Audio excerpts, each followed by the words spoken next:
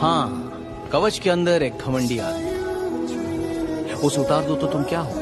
Genius करोड़पति Romeo समाज सेवक मैं कईयों को जानता हूँ जिनके पास ये सब नहीं है। पर तुम जैसे दस पर भारी हैं तुम सिर्फ़ अपने लिए लड़ते हो देखा तुम उनमें से नहीं हो जो किसी के लिए अपना नफा छोड़ दे जो अपने सीने पर गोलियाँ खाकर दूसरों की जान बचाए।